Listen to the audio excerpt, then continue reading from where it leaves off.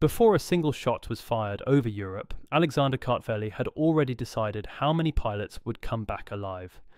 His engineering choices were made long before combat, but their consequences appeared every time a damaged P 47 crossed back over friendly lines. This is the story of the engineer who understood that in modern war, endurance could matter more than speed.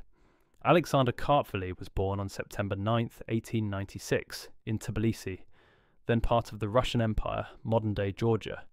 He grew up in a region shaped by political instability, industrial transition, and limited technological infrastructure.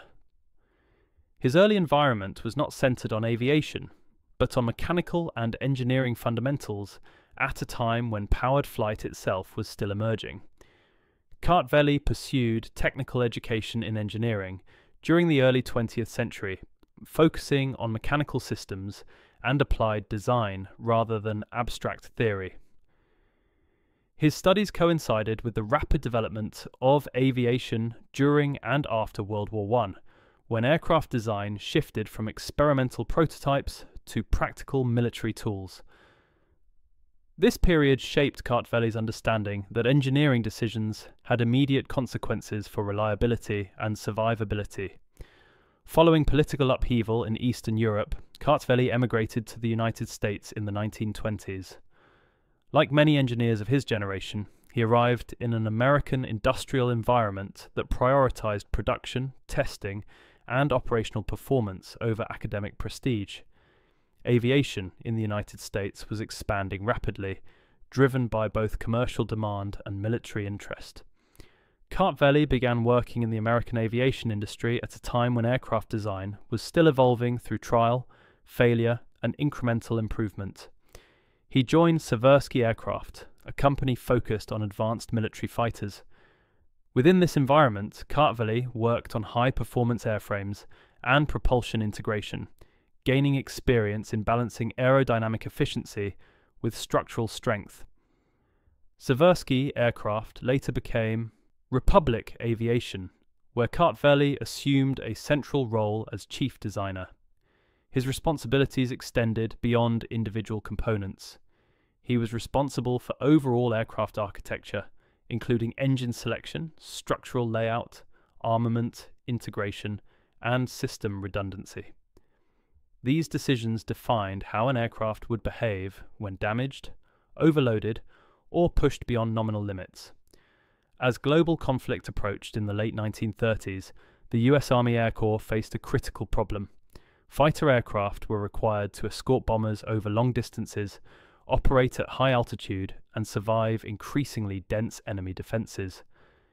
Many contemporary fighter designs emphasized speed and maneuverability, often at the expense of durability and protection. Kartveli approached this problem differently. He accepted that aircraft operating over hostile territory would be hit. Instead of attempting to minimize this risk through performance alone, he focused on ensuring that aircraft could absorb damage and continue flying. This assumption became the foundation of his most important design. That design was the P 47 Thunderbolt.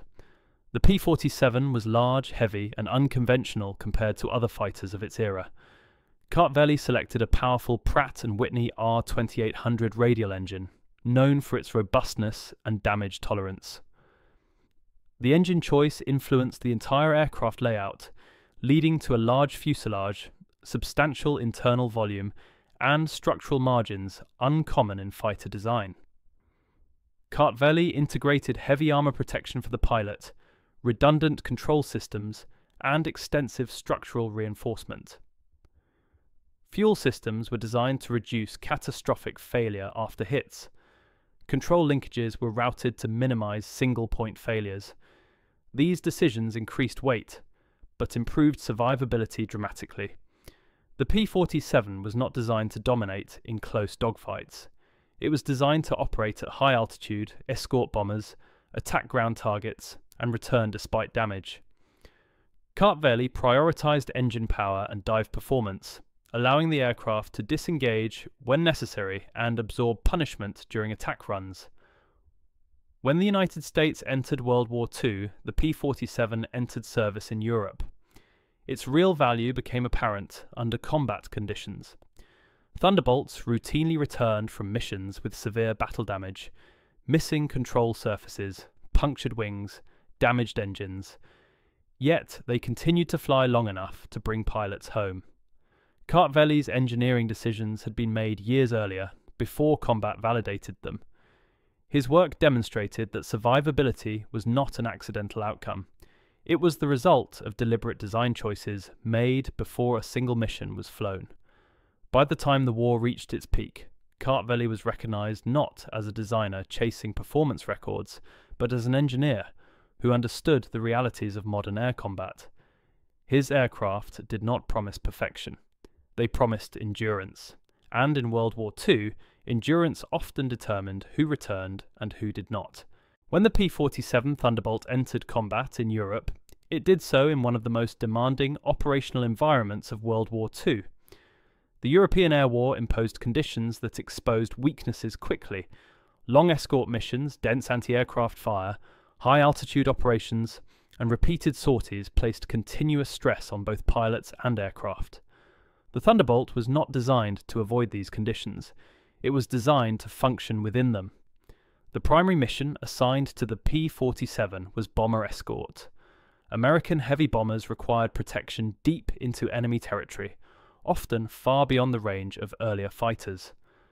This mission required sustained high altitude performance, engine reliability, and the ability to remain operational for extended periods. Kartveli's decision to build around the R2800 radial engine proved critical, the engine delivered high power at altitude and tolerated damage better than liquid cooled alternatives. Combat over Europe quickly demonstrated the reality Kartveli had anticipated. Thunderbolts encountered intense German flak and fighter opposition. Aircraft were hit frequently during escort and ground attack missions. Instead of catastrophic failure, the P 47 structure allowed many aircraft to continue flying. Damage that would have disabled lighter fighters was often survivable in the Thunderbolt. The aircraft's radial engine played a central role in this survivability. Unlike liquid cooled engines, which could be disabled by a single puncture, the radial engine could continue operating despite significant damage. Pilots often returned with missing cylinders, oil leaks, and shrapnel damage, yet retained enough power to cross friendly lines. Kartveli's emphasis on structural strength extended beyond the engine. The Thunderbolt's wings, fuselage, and control systems were built with substantial margins. Redundant control paths reduced the risk of total loss after a single hit. Armour protection around the cockpit increased pilot survival rates, especially during low altitude attack missions. As the air war evolved, the P 47's role expanded. In addition to escort duties, Thunderbolts became highly effective ground attack aircraft. Their ability to dive at high speed, deliver heavy ordnance, and withstand concentrated ground fire made them ideal for attacking rail lines, armoured columns, and airfields. Kartveli's design choices allowed the aircraft to absorb punishment during these missions and return to base. The Thunderbolt's weight, often criticised in theoretical comparisons, became an advantage in combat. Its mass contributed to stability during high speed dives and allowed it to carry significant weapon loads. Pilots learned to exploit the aircraft's strengths rather than fight its limitations. Combat doctrine adapted to the machine rather than forcing the machine to match abstract expectations. Operational reports consistently highlighted the Thunderbolt's durability. Aircraft returned with extensive damage, large holes in wings, torn control surfaces, and structural deformation. Maintenance crews repaired these aircraft repeatedly, returning them to service. This reduced pilot losses and maintained sortie rates during sustained operations. As newer fighters entered service later in the war, the P 47 gradually transitioned out of escort roles. However, its value as a ground attack platform remained high until the end of the conflict. Its combat record reflected Kartveli's original assumption that survival and reliability mattered more than theoretical performance advantages. The P 47 did not dominate by being the fastest or most agile fighter. It dominated by enduring combat conditions that destroyed weaker designs. Kartveli's engineering philosophy proved correct not in isolated engagements, but across thousands of missions where aircraft were damaged, repaired, and returned to service. By the time World War II ended, the Thunderbolt had established itself as one of the most resilient combat aircraft of the war. This outcome was not accidental. It was the result of deliberate engineering decisions made long before the first mission was flown. Alexander Kartveli's influence did not end with the combat success of the P 47 Thunderbolt.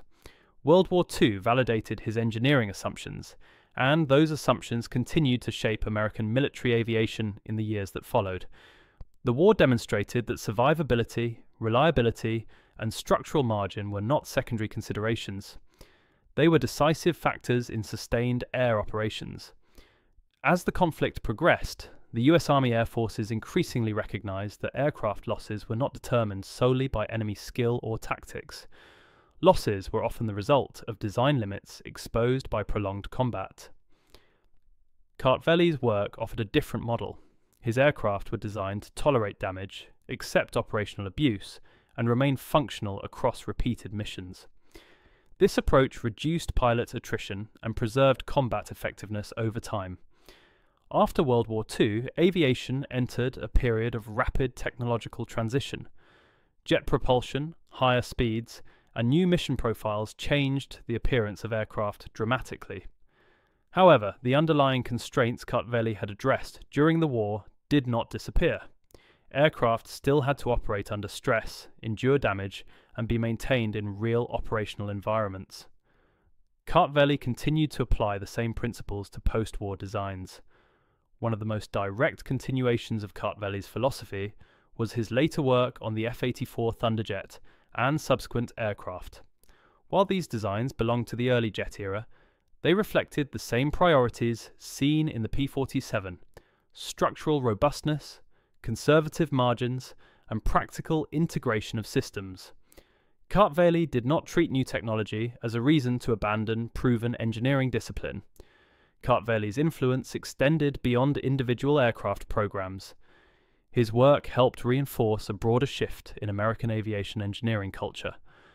Designers increasingly evaluated aircraft based on how they performed across entire campaigns, rather than isolated test conditions maintenance burden, repairability, and pilot survival became central metrics of success. These priorities shaped procurement decisions and design standards throughout the early Cold War. Within engineering teams, Kartveli was known for demanding accountability. Design choices required justification in terms of operational benefit. Weight increases had to be earned. Complexity had to be necessary. This mindset reduced unnecessary features and focused effort on systems that contributed directly to mission success. The result was aircraft that were predictable in behaviour and resilient under pressure. Importantly, Kartveli's legacy was not built on dramatic technological breakthroughs or radical configurations. His contribution lay in restraint. He resisted the temptation to chase performance extremes without regard for consequence. His designs reflected an understanding that war exposed weaknesses ruthlessly and without warning. Engineering. Decisions made years earlier would determine outcomes when correction was no longer possible. The long term impact of this philosophy became clear as air combat grew more complex. As aircraft speeds increased and engagements compressed into shorter timeframes, pilots depended increasingly on machines that behaved consistently under stress. Kartveli's designs supported this requirement by minimizing surprises and preserving control authority even after damage. Kartveli's work also demonstrated that engineering influence often remains invisible. His aircraft did not win wars through novelty or spectacle. They did so by enabling pilots to complete missions repeatedly and return alive. This cumulative effect shaped campaign outcomes in ways that were not captured by single battles or performance charts. By the end of his career, Kartveli had established a clear model for military aircraft design. He showed that success in air warfare depended on aligning engineering decisions with operational reality. Survivability, maintainability, and structural integrity were not compromises, they were force multipliers. Alexander Kartveli did not design aircraft to be admired, he designed them to endure. His legacy is found not in experimental prototypes or theoretical studies, but in the thousands of missions flown by aircraft that absorbed damage, returned to base, and flew again. In World War II and in the decades that followed, this approach proved that disciplined engineering could shape outcomes long before combat ever began.